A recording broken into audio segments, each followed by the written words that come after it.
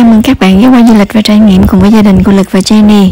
Hôm nay thì mình sẽ chia sẻ tiếp phần tiếp theo của cái khu vực uh, trang trại Bowinkle Mà ở phần trước thì mình đã chia sẻ các bạn về uh, khu vườn hoa hướng dương rất là đẹp mắt. Thì bạn nào mà chưa xem thì hãy vào kênh du lịch và trải nghiệm để tìm xem cho đầy đủ về cái chuyến du lịch mình đi tới cái trang trại Bowinkle này nhé thì hôm nay mình sẽ chia sẻ về những uh, sinh hoạt ở trong cái trang trại Bowinkle uh, ờ, ở cái khu chợ và những cái sinh hoạt đặc biệt uh, được diễn ra vào mùa thu. Thì um, ở trong khu chợ này hiện tại là đang rất là tấp nập đông đảo rất là nhiều người đến đây để mà tham dự cái ngày lễ của uh, những sinh hoạt vào mùa thu. Uh, cũng như là ngắm những cái bông hoa cúc à, những à, à, quả bí ngô khổng lồ với hình dạng à, và những à, kích thước rất là à, thú vị và à, đặc sắc mà mình cần phải à, theo dõi. Thì hôm nay mình sẽ giới thiệu về sơ lược về cái nông trại Bowinkle này. Thì cái trang trại Bowinkle là một trang trại nhỏ thuộc quyền sở hữu của một gia đình Tây Nam ở Ohio đã hoạt động từ năm 1918 và cho đến nay thì dưới sự điều điều hành của ờ, thế hệ thứ ba trong cái gia đình ờ, ờ, này thì người ta vẫn hoạt động và trồng trọt rất là sung túc và người ta cung cấp đầy đủ những cái nông sản như là bắp nè, cà chua và đậu hay là tất cả những cái nông sản mà được trồng ở trang trại này thì được bán ra ngoài với giá rất là ưu đãi và về chất lượng thì luôn tươi mới và rất là ngon. Đặc biệt hôm nay thì mình thấy trong cái trang trại này trưng bày rất là nhiều những bông hoa cúc thì bạn biết là mùa thu là mùa của hoa cúc mà. Khi mà mỗi khi mà mùa thu tới thì bắt đầu từ tháng à, 9 là đã thấy ở chợ hay là mình đi dọc theo những con phố thì đã thấy trưng bày rất là nhiều những bông hoa cúc nở rộ và rất là nhiều màu sắc khác nhau rất là đẹp mắt. Thì hoa cúc là mò mùa hoa của nở vào mùa thu và à, sẽ kéo dài cho đến à, khi mà mùa Tết luôn. Cho nên là nếu mà ở những cái khu vực mà không có quá lạnh á, thì mình có thể ngắm được hoa cúc rất là lâu. Và khi mà các bạn à, mua hoa cúc về trồng á, thì à, các bạn à, đã chưng hết khi mà hoa nở tàn hết rồi thì các bạn có thể trồng xuống đất. Thì hoa có thể mọc lại vào cái mùa hè năm sau và sẽ nở hoa vào mùa thu. Rất là đẹp. Nơi này có một cái hồ ờ, bắp khô. Đây là những hạt giống ờ, ờ, bắp người ta đã phơi cho nó thật là khô rồi và để trong một cái thùng cho các bé vào chơi. Thì tất nhiên là những cái hạt bắp này thì sẽ để dành riêng cho các bé chơi thôi chắc là không có thể tái sử dụng để mà trồng lại đâu. Nhưng mà khi mình nhìn các bé chơi những cái trò này thì mình à, lại nhớ về cái tuổi thơ của mình khi mà mình à, lúc còn bé thì mình lại chơi với à, trên những cánh đồng lúa và những cái ụ rơm đó cũng rất là vui luôn. Thì à, bây giờ nhìn các bé cho các bé có sự à, trải nghiệm chơi đùa với những cái um, hạt bắp khô này cũng rất là vui.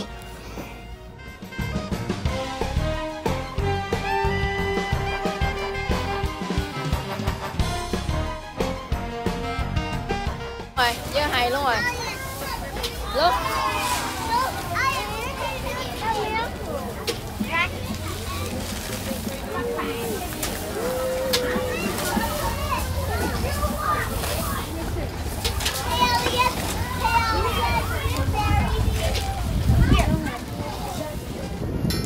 có một cái trò này cũng rất là thú vị nè các bạn.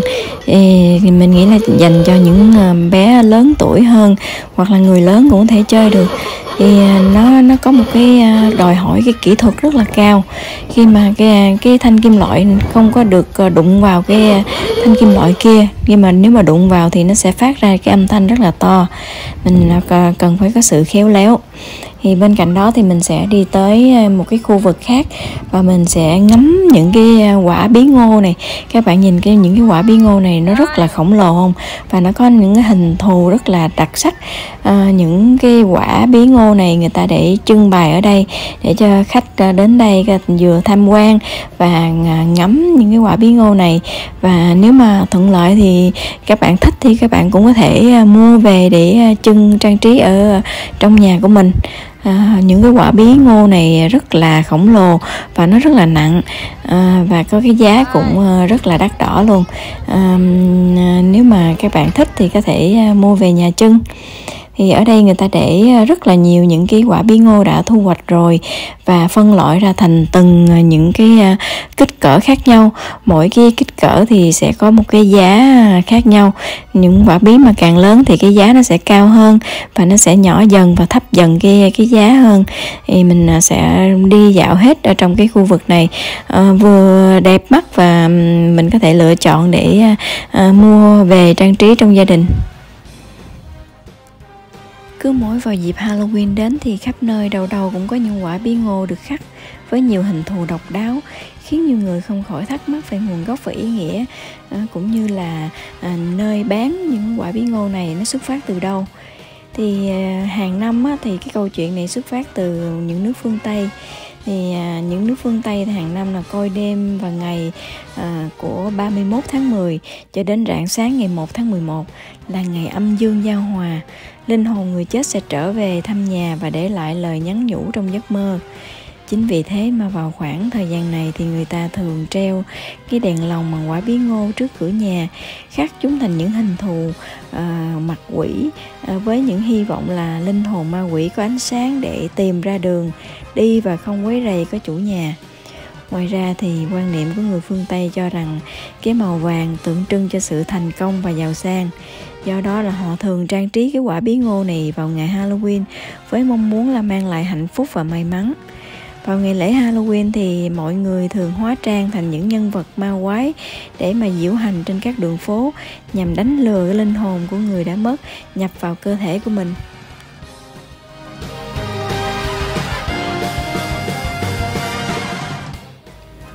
Cho nên là những quả bí ngô màu cam là mặt hàng phổ biến nhất trong ngày lễ Halloween à, người Mỹ thì đặc biệt là trẻ em là rất thích chạm khắc và trang trí bí ngô như một chiếc đèn lồng.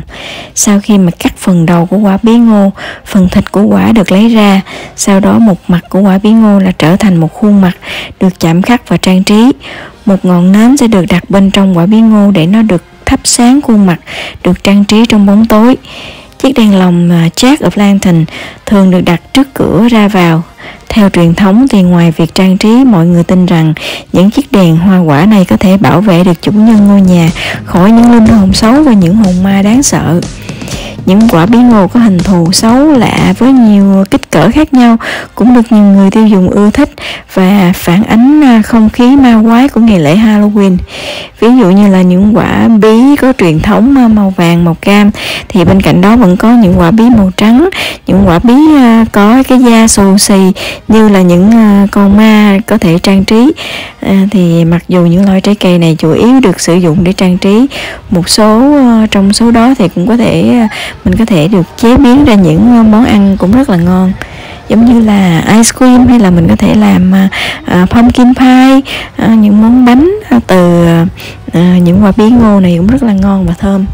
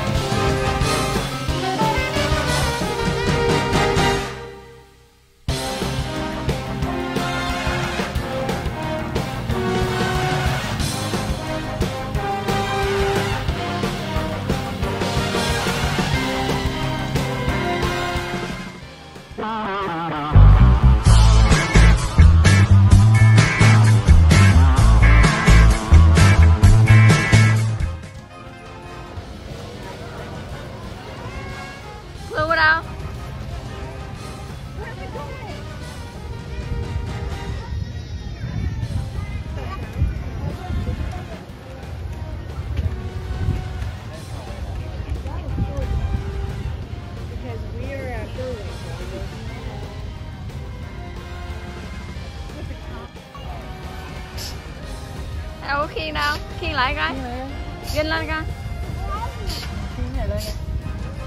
Đây, coi trái này màu tròn nhỏ nhỏ nè. Con khiên trái này cho mẹ. Đúng rồi, trái đó đó. Too heavy, too heavy. Bưng lên coi, bưng ơi có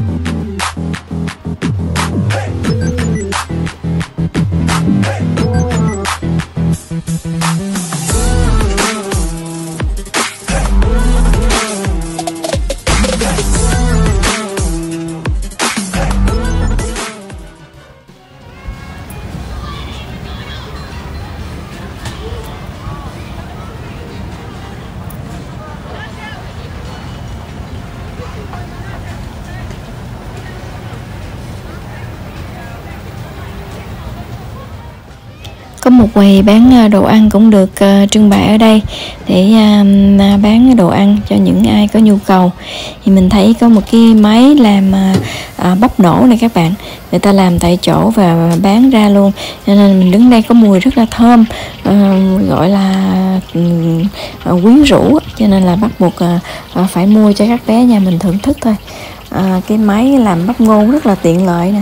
Mình thấy người ta à, để bắp vào và để bơ để à, đường muối vào. Thì à, khi mà ăn nó có vị rất là thơm và béo.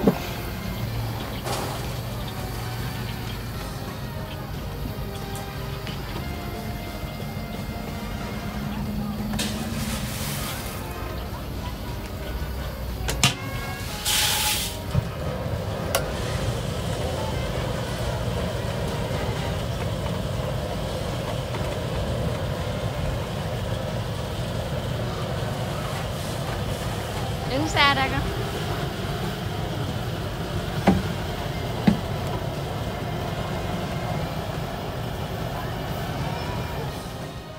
Hôm nay cả nhà mình có một ngày dạo chơi ở cái trang trại Bovingo này. Ngoài cái việc là mình đi à, ngắm hướng dương, à, chơi cái à, à, mê cung bắp Thì mình còn được à, à, đi ngắm những cái quả bí ngô khổng lồ này.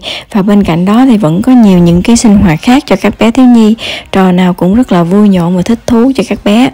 Thì à, mình à, à, hy vọng là sẽ mang lại những phút giây thật là thư giãn cho các bạn cũng như là à, chia sẻ các bạn nhiều hơn về những nét à, văn hóa độc đáo của à, à người Mỹ như thế nào.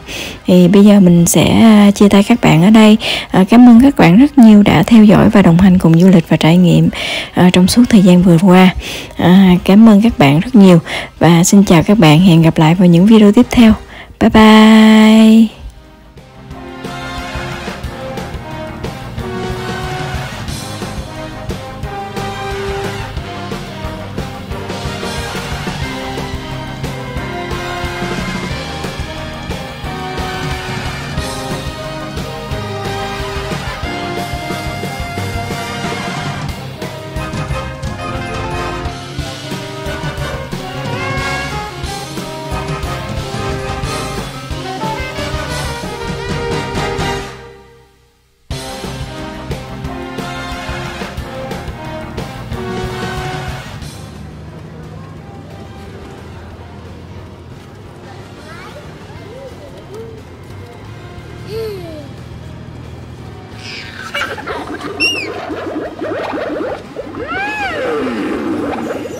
what a delicious looking person.